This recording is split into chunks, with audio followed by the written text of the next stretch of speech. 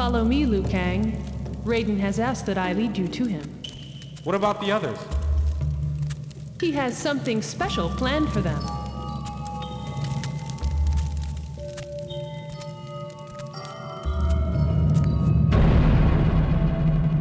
Tanya, what's going on? I don't know what Katana saw in you. Can't you see, Liu Kang?